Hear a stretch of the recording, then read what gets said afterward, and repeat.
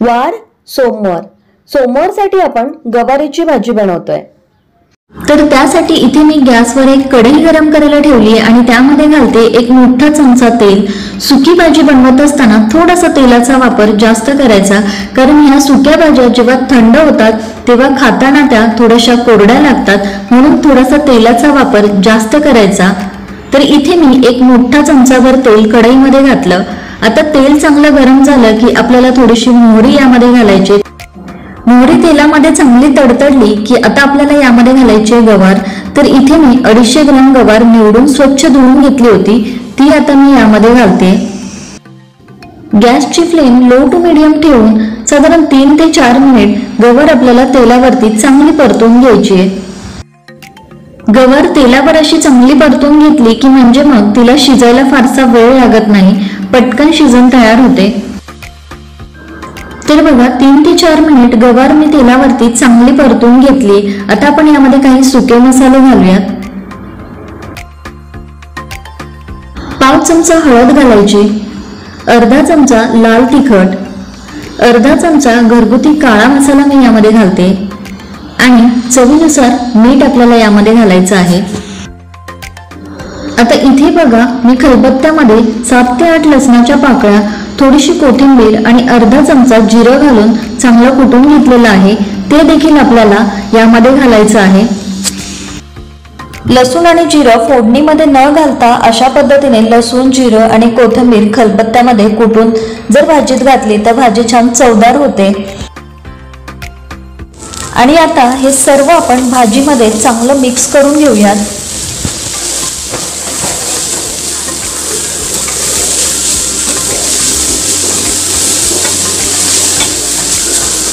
आता भाजी शिजण्यासाठी अर्धा कपभर पाण्याचा हबका आपण यावर मारणार आहोत.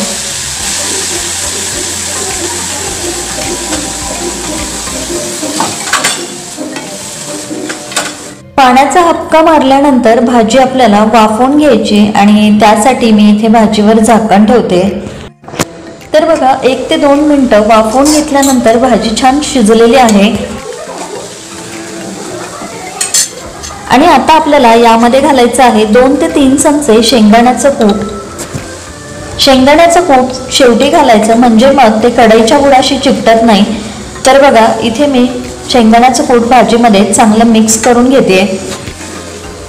शेंगदाण्याचं कूट घातल्यानंतर गॅसची आज मंद ठेवून पुन्हा एकदा एखाद मिनिटभर भाजी शिजू द्यायची आहे. आणि यानंतर तुम्ही बघू शकता मस्त अशी आपली गवारीची सुकी भाजी म्हणून तयार झालेली आहे.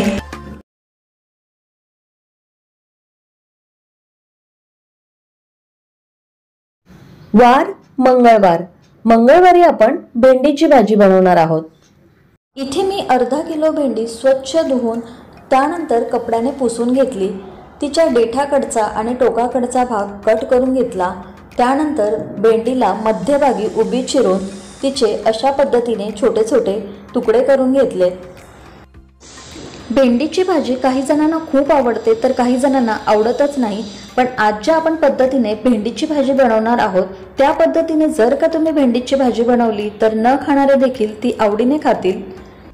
आता यामध्ये आपल्याला काही सुके मसाले ॲड करायचे तर मी यामध्ये घालते एक चमचा लाल तिखट पाव चमचा हळद घालायची अर्धा चमचा धने पावडर पाव चमचा जिरे पावडर अर्धा चमचा चाट मसाला घालायचा. चवीनुसार मीठ आपण यामध्ये घालूयात. आणि यानंतर अर्ध्या लिंबाचा रस यामध्ये मी पिळून घेणार आहे. साधारण दोन चमचे लिंबाचा रस मी यामध्ये घातला आहे आता हे सर्व मसाले भेंडीमध्ये आपल्याला चांगले मिक्स करून घ्यायचे आहेत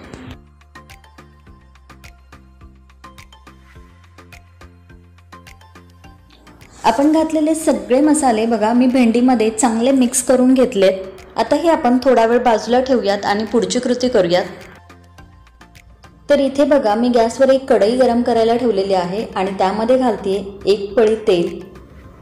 आता यामध्ये आपल्याला घालायचं आहे अर्धी वाटी बेसन पीठ. आणि बेसन पीठ घातल्यानंतर गॅसची फ्लेम लो टू मिडियम ठेवून आपल्याला ते व्यवस्थित खरपूस असं भाजून घ्यायचं आहे तर इथे बघा गॅसची फ्लेम लो टू मिडियम ठेवून साधारण तीन ते चार मिनिट बेसन पीठ मी चांगलं खमंग भाजून घेतलं आहे याचा रंगही तुम्हाला बदललेला दिसत असेल.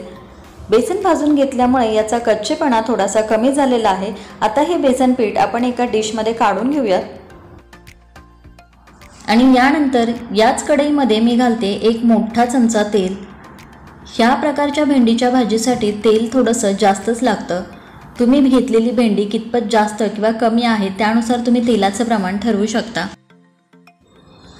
तेल चांगलं गरम झालं की आपल्याला यामध्ये घालायचे आहे एक चमचा मोहरी. मोहरी चांगली तडतडली की त्यामध्ये आपल्याला घालायच्या आहेत सात ते आठ ठेचलेल्या लसणाच्या पाकळ्या.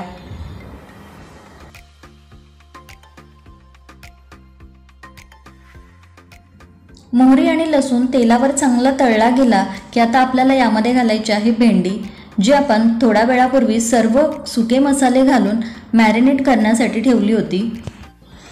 अशा पद्धतीने सर्व सुके मसाले भेंडीला लावून भेंडी थोड्या वेळासाठी मॅरिनेशनसाठी ठेवली की भाजीची चव आणखीन वाढते. आता गॅस मोठा करायचा आणि साधारण तीन ते चार मिनटं भेंडी तेलावर चांगली परतून घ्यायची. जर का तुम्ही गॅसची फ्लेम लो ठेवली तर भेंडी चिकट होऊ शकते आणि म्हणून मोठ्या गॅसवरतीच भेंडी साधारण तीन ते चार मिनटं चांगली परतवून घ्यायची. तर बघा गॅस मोठा ठेवून तीन ते चार मिनटं भेंडी मी इथे चांगली परतून घेतली आणि त्यामुळे तिचा चिकटपणा कमी झाला आहे त्याचबरोबर भेंडी थोडीशी मौसरही झालेली आहे. आता गॅस बारीक करायचा आणि यावर झाकण ठेवून साधारण एक ते दोन मिनटं आपल्याला वाफ काढून घ्यायची. झाकण ठेवल्यानंतरही भेंडी मी अधूनमधून हलवून घेत होते म्हणजे जेणेकरून मसाला जो आहे तो कढईच्या बुडाशी चिकटणार नाही. तर बघा मस्त अशी भेंडी शिजलेली आहे. त्याचबरोबर चिकट देखील झालेली आपल्याला दिसत नाही आहे आता सुरुवातीला आपण जे बेसन भाजून घेतलं होतं ते यामध्ये आपल्याला घालायचं आहे आणि बेसन घातल्यानंतर ते भेंडीमध्ये व्यवस्थित मिक्स करून घ्यायचं आहे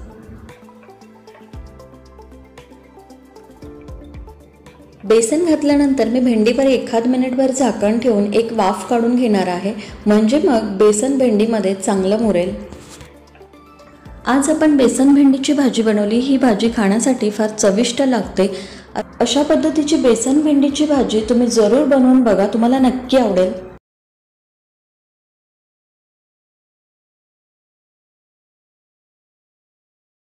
वार बुधवार. बुधवारी आपण बनवतोय कारल्याची भाजी. त्यासाठी इथे मी अडीचशे ग्रॅम कारले स्वच्छ धुवून घेतलेले आहेत. हे कारले आपल्याला चिरून घ्यायचे आहेत आणि त्यासाठी कारल्याच्या देठाकडचा आणि टोकाकडचा भाग कट करून कारल्याला उभं असं मी चिरून घेतलेलं आहे. तुम्हाला हवं असेल तर यातल्या बिया अशाच ठेवून तुम्ही कारलं कट करून घेऊ शकता. पण मी यातल्या बिया काढून घेणार आहे आणि तुम्ही बघू शकता अशा पद्धतीने मी कारल्याचे छोटे छोटे काप करून घेतलेत. तुम्हाला हवं असेल तर तुम्ही याच्या गोल चकत्या देखील करू शकता.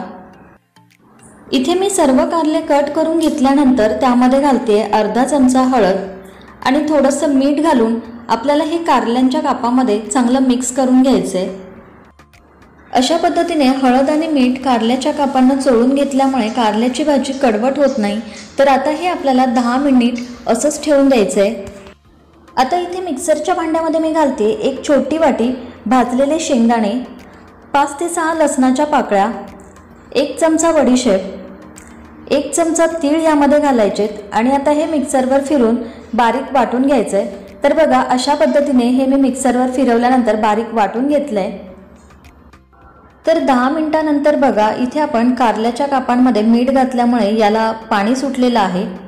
तर हे कारल्याचे काप घट्टसर पिळून घेऊन यातलं हे कडवट जे पाणी आहे ते आपल्याला बाजूला काढून घ्यायचं आहे अशा रीतीने. कारल्याचा कडवटपणा कमी व्हावा याकरता आपण ही प्रोसेस करतोय. आपण हे जे पाणी काढून घेतोय ते कडवट पाणी आहे. अशा पद्धतीने हे कडवट पाणी काढून घेतलं की म्हणजे मग कारल्याची भाजी अजिबात कडू होत नाही.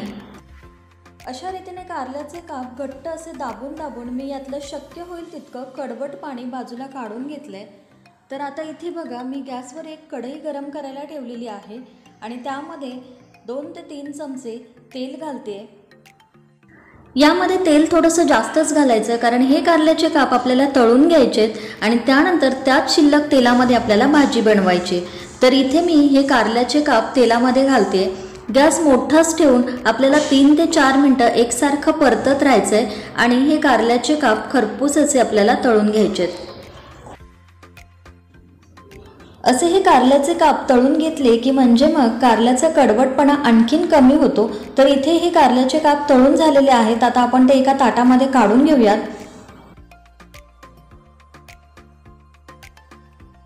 आता ह्या शिल्लक राहिलेल्या तेलामध्ये आपल्याला जिरं घालायचं आहे आणि जिरं चांगलं तडतडलं की त्यामध्ये आपण घालूयात एक मध्यम आकाराचा उभा पातळ चिरलेला कांदा. कांदा तेलावरती आपल्याला व्यवस्थित परतवून घ्यायचा आहे तर बघा तीन ते चार मिनिट कांदा मध्यम आचेवरती चांगला परतून घेतल्यानंतर मौसर झालेला आहे आणि याचा हलकासा रंग बदललेला आहे. आता आपण यामध्ये घालूयात. हे आपण तळून घेतलेले कारल्याचे काप.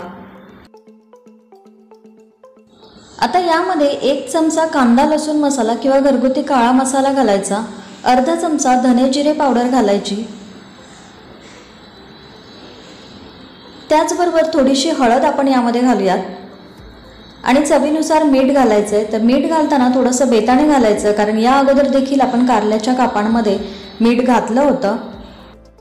सर्व मसाले भाजीमध्ये व्यवस्थित मिक्स करून घेतल्यानंतर आता आपल्याला यामध्ये घालायचं आहे चिंचेचा कोळ. तर थोडीशी चिंच मी कोमट पाण्यामध्ये एक तासभर भिजत ठेवली होती आणि त्याचाच कोळ मी याच्यामध्ये घालते.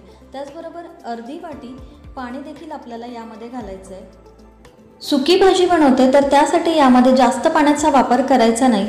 सुरुवातीला आपण शेंगदाणे तीळ आणि बडीशेपचं जे कूट तयार करून घेतलं होतं त्यातले तीन चमचे कूट मी यामध्ये घातलं आहे आता भाजी व्यवस्थित मिक्स करून घेऊ आणि गॅसची फ्लेम लो ठेवून भाजीवर झाकण ठेवून साधारण एखाद मिनिटभर भाजी वाफवून घ्यायची. वाफवून घेतल्यानंतर भाजी चांगली शिजलेली आहे आणि सर्व मसाले चांगले एकजीव झालेत आता आपण यामध्ये घालूयात एक चमचा गुळाची पावडर. याऐवजी तुम्ही थोडासा गूळ देखील यामध्ये घालू शकता. गुळाची पावडर भाजीमध्ये व्यवस्थित मिक्स करून घेतली. आता सगळ्यात शेवटी बारीक चिरलेली कोथिंबीर यामध्ये घालायची आणि गॅस बंद करायचा आहे. तर अशा रीतीने आपली तयार झाली कारल्याची सुक्की भाजी.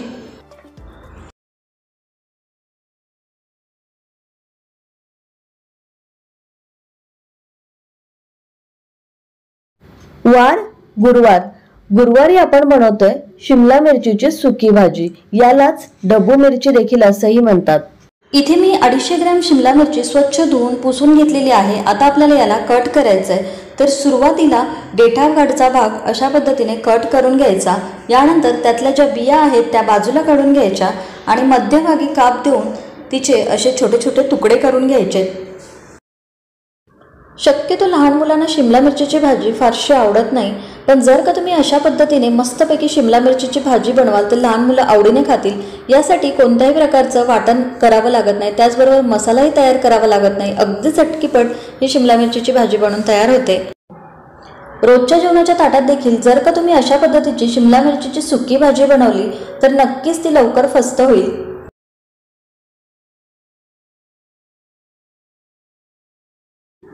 अशा पद्धतीने मी सर्व शिमला मिरची बारीक चिरून घेतली आहे तर इथे बघा गॅसवर गरम करायला ठेवलेल्या कढईमध्ये मी घालते एक मोठा चमचा तेल. आता तेल चांगलं गरम झालं की यामध्ये मी घालते एक चमचा मोहरी थोडंसं जिरं घालायचं. त्याचबरोबर सात ते आठ ठेचलेल्या लसणाच्या पाकळ्या देखील यामध्ये मी घालते. पाच ते सहा कढीपत्त्याची पानं घालायची.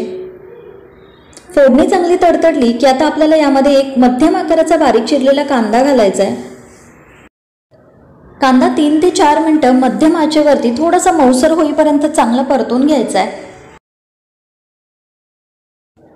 कांदा तेलावर चांगला परतून घेतल्यानंतर थोडासा मऊसर झाला आणि हलकासा त्याचा रंग बदलला की आपल्याला त्यामध्ये घालायचा आहे. एक मध्यम आकाराचा बारीक चिरलेला टोमॅटो.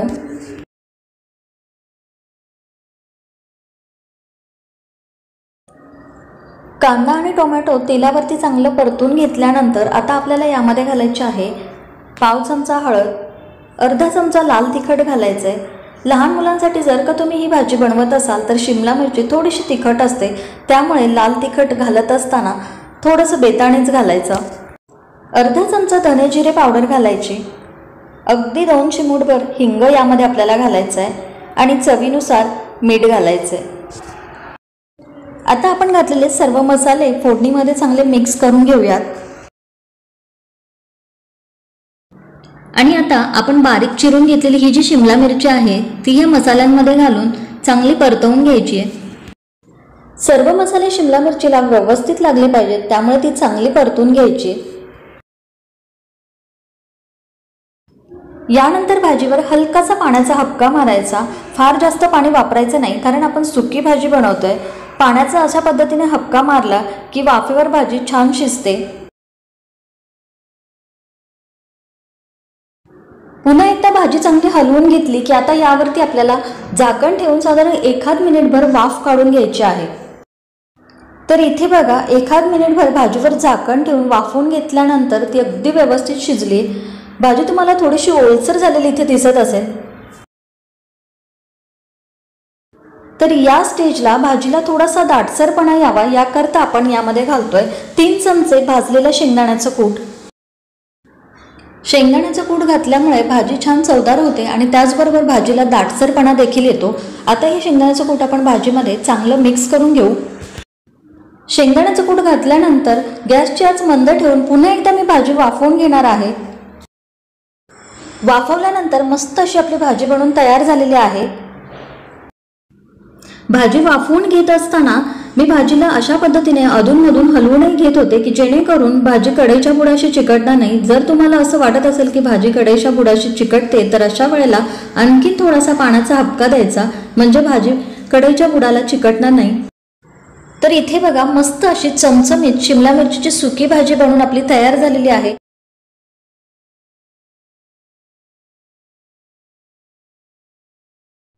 वार शुक्रवार. शुक्रवारसाठी आपण बनवणार आहोत कोबीची सुक्की भाजी. आपण कोबीची सुक्की भाजी बनवतोय. ही भाजी अगदी मोजक्या साहित्यात कमीत कमी वेळेत झटपट बनून तयार होते. घाईच्या वेळेला लहान मुलांच्या टिफिनसाठी किंवा अगदी रोजच्या जेवणाच्या ताटामध्ये पटकन एखादी सुकी भाजी बनवायची असेल तर तुम्ही अशा पद्धतीची कोबीची भाजी नक्कीच बनवू शकता. तर त्यासाठी इथे मी अडीचशे ग्रॅम कोबी उभा पातळ चिरून त्याला स्वच्छ धुवून घेतला आणि त्यानंतर यातलं पाणी पूर्णपणे निथळून घेतलेलं आहे.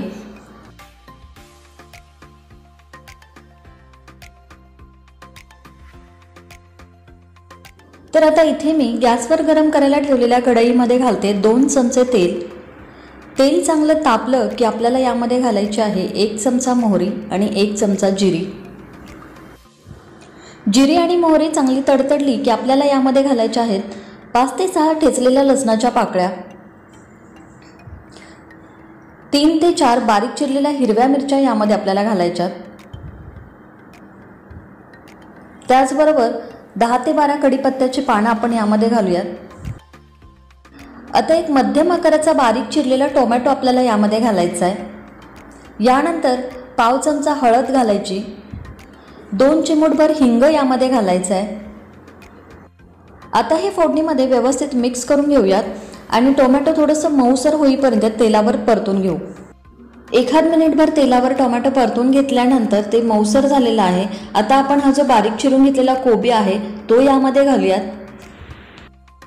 आता जरी हा कोबी तुम्हाला जास्त दिसत असला तरी वाफेवर शिजल्यानंतर हा कोबी कमी होतो. फोडणीमध्ये कोबी आता चांगला मिक्स करून घेऊ. तर बघा थोडा वेळ कोबी वाफवून घेतल्यानंतर अगोदर होता त्यापेक्षा थोडासा कोबी कमी झालेला दिसतोय. आता यामध्ये आपण चवीनुसार मीठ घालूयात. तर सुरुवातीलाच कोबीच्या भाजीमध्ये मीठ घालायचं नाही. जेव्हा कोबी शिजून थोडासा कमी होतो त्यावेळेस त्यामध्ये मीठ घालायचं. म्हणजेच आपला मिठाचा अंदाज चुकत नाही. आता यावर झाकण ठेवून एक वाफ काढून घ्यायची. तर बघा वाफवल्यानंतर कोबी अगदी व्यवस्थित शिजलेला आहे. कोबीची भाजी शिजायला फारसा वेळ लागत नाही. गॅसची फ्लेम लो टू मिडियम ठेवून त्यावर झाकण ठेवून एखाद मिनिटभर वाफ काढून घेतली की कोबी लगेच शिजून तयार होतो. आता सगळ्यात शेवटी यामध्ये बारीक चिरलेली कोथिंबीर घालूयात आणि भाजीमध्ये व्यवस्थित मिक्स करून घेऊ. तर अशा रीतीने आपली कोबीची सुक्की भाजी बनवून तयार झाली.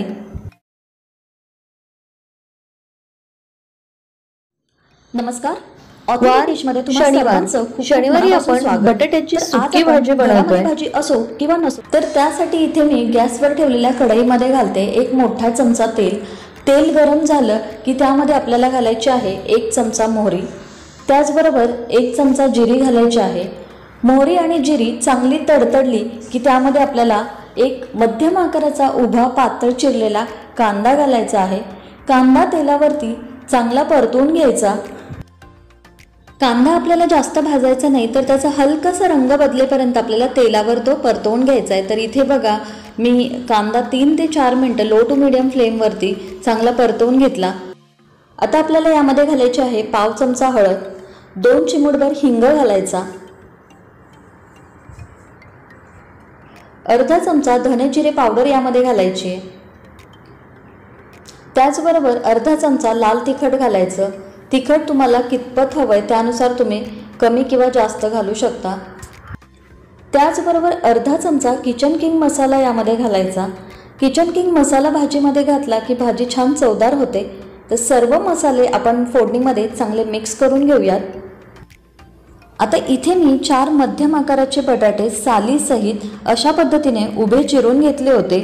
हे बटाट्याचे काप जास्त पातळही नाही किंवा जाडही नाही थोडेसे मध्यम आकारामध्येच हे मी चिरून घेतले होते आणि याला पाण्यामध्ये असंच ठेवू दिलं होतं कारण जेणेकरून हे बटाट्याचे काप काळे पडू नयेत. कांदा आणि सर्व मसाले तेलामध्ये व्यवस्थित परतून घेतल्यानंतर लगेचच आपल्याला हे बटाट्याचे काप यामध्ये घालायचे. सर्व मसाला बटाट्याच्या कापांना व्यवस्थित लागावा याकरता हे चांगलं मिक्स करून घ्यायचे. आणि आता यामध्ये घालायचं आहे चवीनुसार मीठ. मीठ घातल्यानंतर यावर अशा पद्धतीने पाण्याचा हबका मारायचा. कारण आपल्याला भाजी वाफेवर शिजू द्यायची आहे. सुकी भाजी बनवतोय जास्त पाण्याचा वापर करायचा नाही अगदी थोडंसं पाणी घालून आपल्याला ही भाजी वाफेवर शिजू द्यायची आहे. तर त्यासाठी इथे मी भाजीवर झाकण ठेवते. गॅसची फ्लेम लो टू मिडियम ठेवून साधारण तीन ते चार मिनटं भाजी झाकून ठेवून एक वाफ काढून घ्यायची आहे. तर बघा तीन ते चार मिनटं भाजी वाफवून घेतल्यानंतर मस्त अशी शिजलेली आहे. तर चमच्याने बटाट्याचा काप अशा पद्धतीने कट केल्यानंतर त्याचे अगदी सहज दोन तुकडे होत आहेत. म्हणजे भाजी आपली व्यवस्थित शिजलेली आहे. आता यामध्ये मी घालते दोन चमचे भाजलेल्या शेंगदाण्याचं कूट. आता या स्टेजला पाच ते सहा लसणाच्या पाकळ्या ठेचून मी भाजीमध्ये घातल्या होत्या. व्हिडिओ शूट करायचा राहून गेला. लसूण फोडणीमध्ये न घालता जर का तो अशा पद्धतीने वरून घातला की जो लसणाचा थोडासा कच्चा फ्लेवर आहे त्यामुळे भाजी आणखीन टेस्टी लागते. शेंगदाण्याचं कुठाने ठेचलेल्या लसणाच्या पाकळ्या घातल्यानंतर पुन्हा एकदा मी भाजी मंद आचेवरती एखाद मिनिटभर परतवून घेतलेली आहे. तर अशा पद्धतीने आपली मस्त अशी बटाट्याच्या कापांची सुकी भाजी बनवून तयार झालेली आहे. आता आपण गॅस बंद करूयात आणि त्यानंतर त्यावर थोडीशी बारीक चिरलेली कोथिंबीर घालूयात.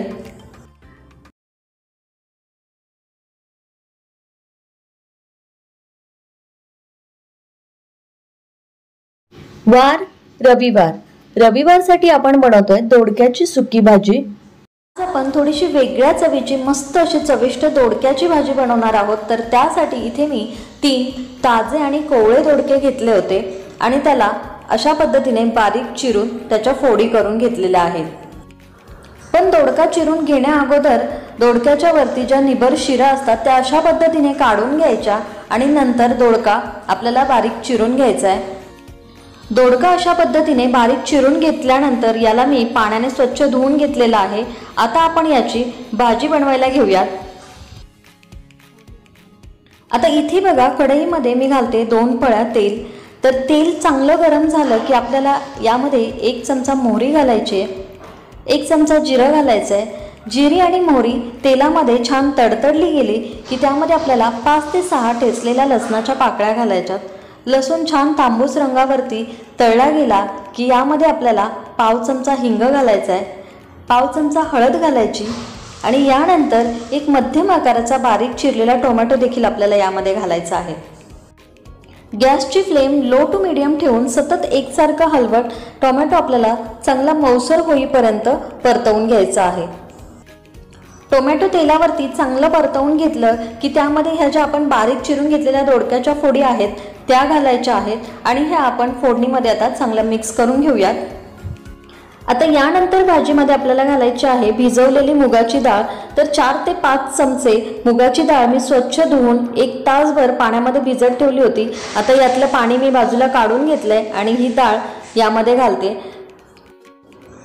आता यातच आपल्याला एक चमचा घरगुती काळा मसाला घालायचा आहे एक चमचा चिकन मसाला चवीनुसार मीठ आपल्याला यामध्ये घालायचं आहे आणि आता हे सर्व मसाले घातल्यानंतर भाजीमध्ये व्यवस्थित मिक्स करून घ्यायचे. आहेत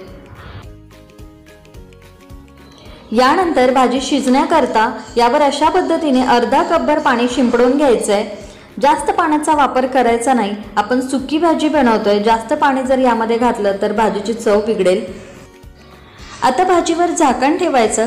गॅसची फ्लेम लो टू मिडियम ठेवून साधारण तीन ते चार मिनटं भाजी शिजू द्यायची आहे. तर बघा अगदी काही मिनिटातच आपली दोडक्याची भाजी शिजून तयार होते. ही भाजी शिजत असताना मी याला चमच्याने अधूनमधून हलवतही होते जेणेकरून ती कढईच्या बुडाशी चिकटणार नाही. भाजी चांगली शिजल्यानंतर आता यामध्ये आपल्याला दोन चमचे भाजलेल्या शेंगदाण्याचं कूट घालायचं आहे आणि शेंगदाण्याचं कूट भाजीमध्ये व्यवस्थित मिक्स करून घ्यायचं. मसाले तेच भाजी तीच पण जर का करण्याची पद्धत थोडीशी बदलली की नक्कीच भाजीची चव बदलते आणि ती खावीशी देखील वाटते. सगळ्यात शेवटी यामध्ये बारीक चिरलेली थोडीशी कोथिंबीर घालायची. कोथिंबीर घातल्यानंतर भाजीमध्ये ती व्यवस्थित मिक्स करून घेतली की आपली मस्त अशी चविष्ट आणि झटपट तयार होणारी दोडक्याची सुक्की भाजी खाण्यासाठी तयार आहे.